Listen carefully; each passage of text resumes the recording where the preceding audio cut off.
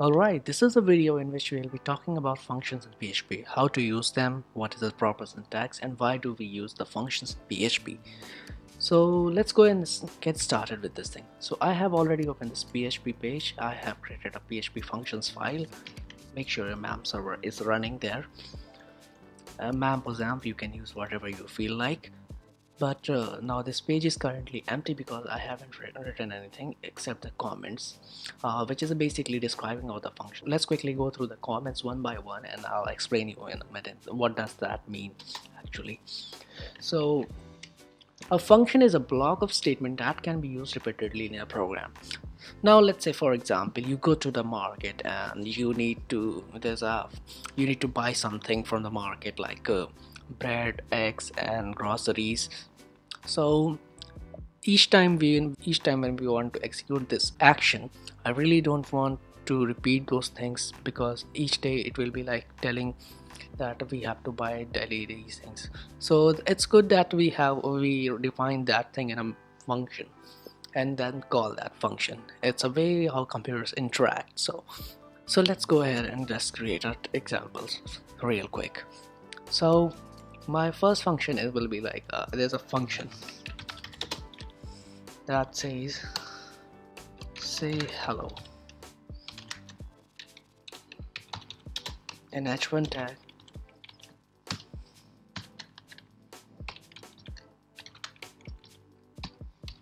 h1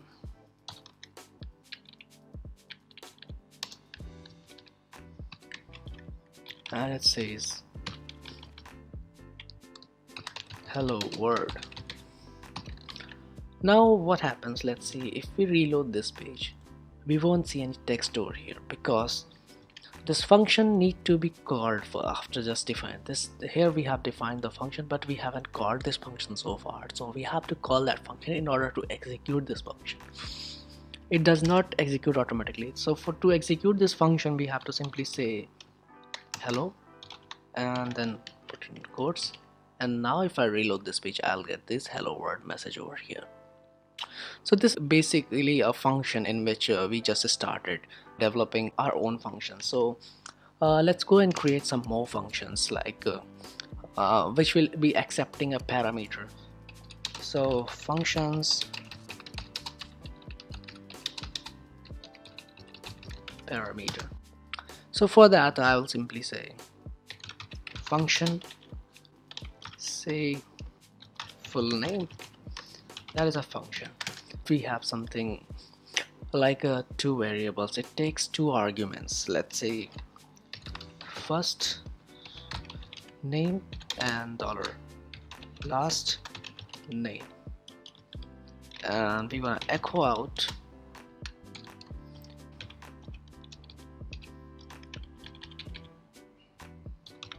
um, using double quotes instead of these single quotes. So dollar first name and the space in between saying last name. And if I go and now we have to get the uh, now we have to print these values we have to call that function. So let me quickly comment this earlier functions values uh, and then say say full name. And now if I'm calling this function and now if I reload with this error. Why we are getting error? Just because it the function is accepting two arguments and we don't we haven't passed any arguments so let's say my name is Naren Maurya or you can pass the variables over here. Or let's say Nandy is the first name and then the second argument I'll be passing Mandy so now if I reload quickly and we get here Nandy Mandy which is printed out here. So this is the first variable which, which has been inserted in this first name variable and the Mandy has been inserted into the last name variable. Now let's let me quickly go go through this thing again. And now uh, now this accepts first name last name and this accepts a first name first name okay. So now uh, we have to define these functions uh, define these variables. So I'm just quickly telling you what is the scope in the function. So let's say Narendra and dollar last name equal to Maurya and if I reload uh, if I quickly save this thing and reload now. We are getting Naren Maurya here so one thing you remember that we are using the same variables over here as well as over here. So this means what? These two variables are out of scope of these functions. But whatever we have inside uh, we, we cannot access those values over outside this function as well as we cannot access these outside parameter outside variables inside that function. So because this is called scope limitation. So these variables just belong to these functions and these variables are independent variables of this program. So this is basically a scope defining. Now let me go to the uh, a function will not execute immediately when a page loads. It need to be called as I as, as I said so this is basically about the function. Now let's go quickly create about the strict functions. Now what are strict functions? Let's say strict functions. So what are strict functions basically? Strict function means which which accepts statically typed arguments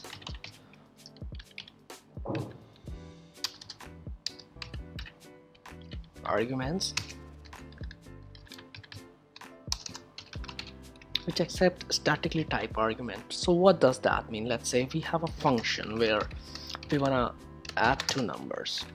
And that function is saying uh, its name is sum. Or better return sum. So this function accepts two variables. Let's say num1 and num2 and this returns uh, this echoes out this prints the sum of two numbers. So let's say number one num1 plus or num2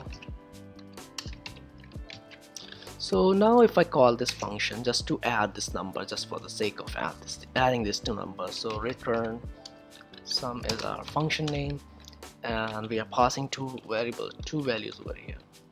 And that is saying 23.5 23.67 and now if I reload what happens over here?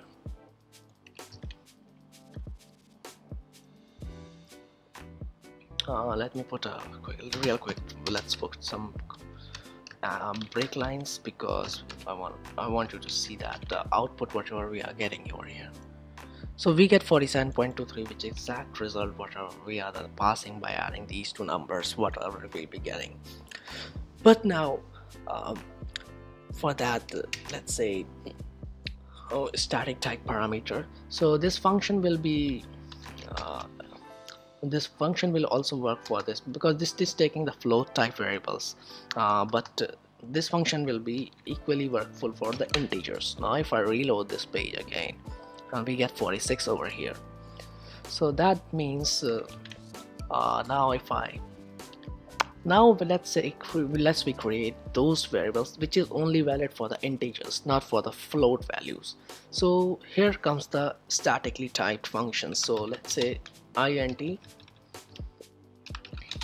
which we are defining the integers. Now let's go ahead and reload the page whatever what we are gonna get so at the first we are getting 46 and again 46 so why is that happening? Because when we pass these two values as float values so it automatically removes the decimal places because uh, integer because it is taking integer arguments and it automatically pass that number into integers. And then it does all the perform all the performance function of uh, values so now this is a basic example of the statically typed functions in which we can define something that is uh, all that is only one type that is of only one type. So let's go create one more function which means uh, which returns statically typed variable. Uh, so first of all let me let me quickly tell you what is a uh, which what is return basically. So uh, there's a function like a function like a, my return and it will be returning me some values. So let's say uh, we'll be passing something here. That is um, hello and we'll be or basically we can give the example of this number only. Num1 comma dollar num2 so it will be returning me return. Dollar num1 plus dollar num2 and now if I just call this function my return. So what we are gonna get? Let's check that out whatever we are looking at it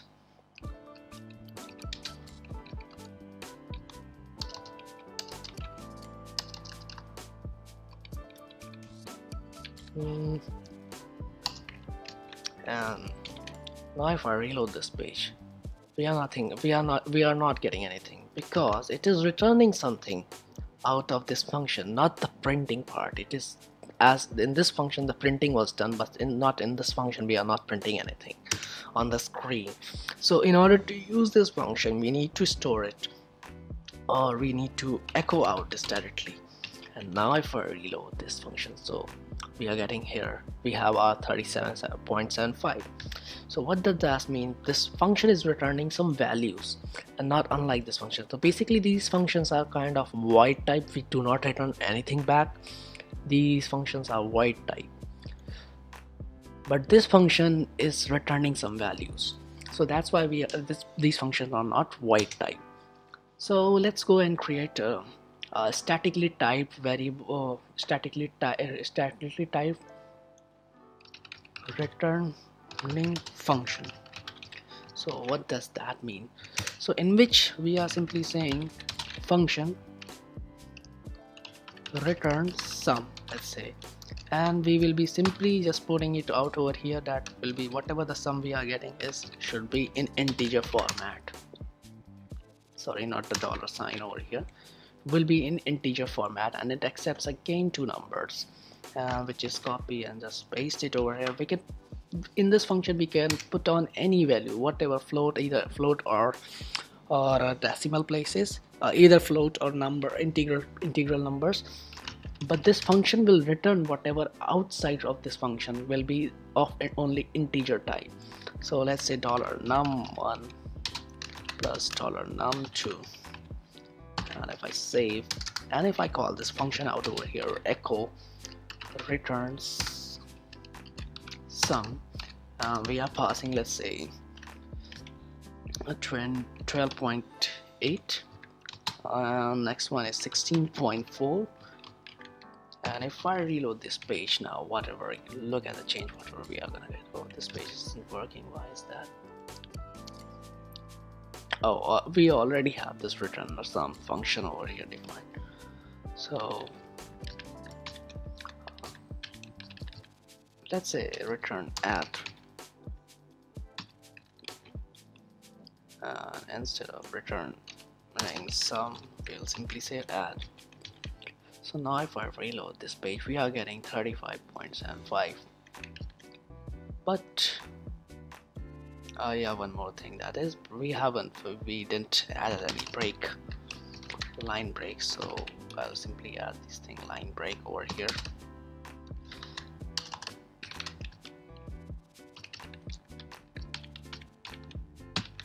And now if I reload this page now let's see this function is accepting these two arguments over here that is 6 12.8 and 16.4 and it added it did all the sum calculation over here. The result will be around 29.4 or 29.2 something I guess. Yeah 29.2 and then it passed back to the uh, integer format. So whatever the decimals were there has been removed by this integer because this uh, automatically pass the return type into the integer format. So basic about examples about the functions. So hope you like the video and you can give this video a thumbs up. And if you just stumbled across my channel you can just give a subscribe button. So never miss a video and press on the black bell icon and if you want to help us we you can definitely share our videos to those who are just starting with the programming and so thank you guys